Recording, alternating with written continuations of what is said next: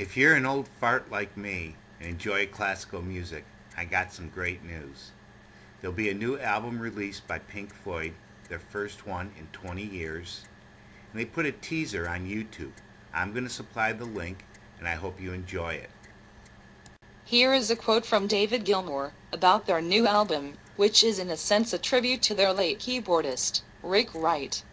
It is being promoted as a four-sided instrumental album with one song in particular called Louder Than Words, which will include new lyrics by Gilmour's wife, Polly Samson. Polly wrote the words for Louder Than Words to express that there is something magical about the music that the three of us make together. It has a sort of a magic flow that is encapsulated, if you like, by the words louder than words. It is a tribute to him. It's very evocative and emotional in a lot of moments. Certainly listening to all of this stuff, it made me regret his passing all over again. This is the last chance anyone will get to hear him just playing along with us in that way that he did. On a personal opinion from me, the teaser sounds fantastic.